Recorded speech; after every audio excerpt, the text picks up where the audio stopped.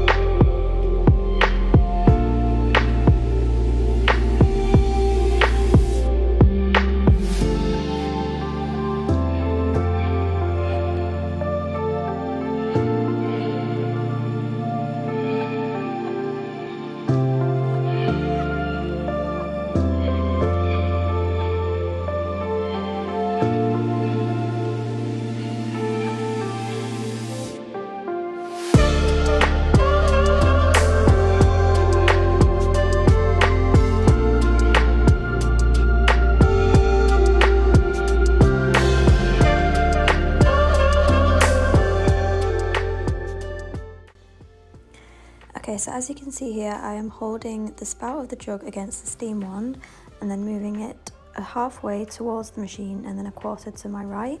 So I'll just show you again. Against the spout, halfway towards the machine and then a quarter to the right.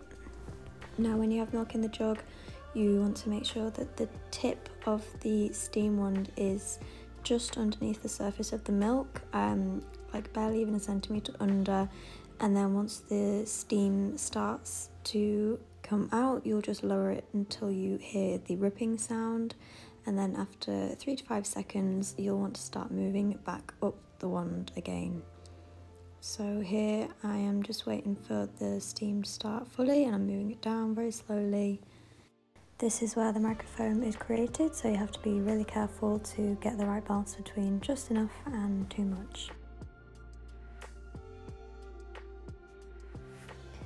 Okay, so now I've moved the jug back up the steam wand and now I'm just feeling with my hand for the temperature.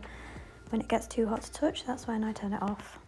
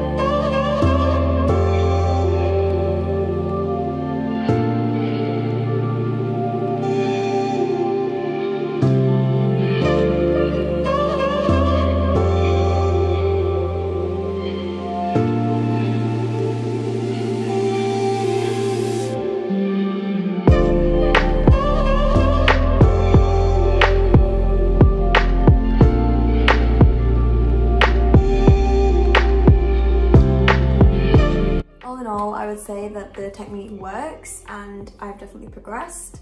I definitely have more um, consistently silky smooth and like paint-like um, texture in my milk. So I definitely think that it works.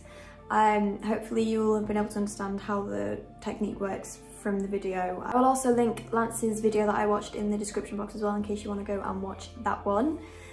Um, so yeah, I've definitely improved. My milk texture is definitely more consistently um, correct or close to being as you know good as I can get it.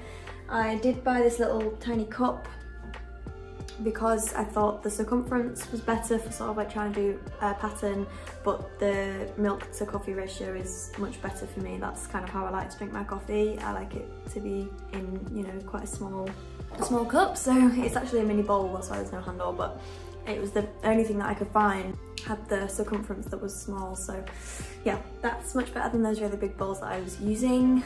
The milk texture's good it's just a case of me not being able to do latte art now.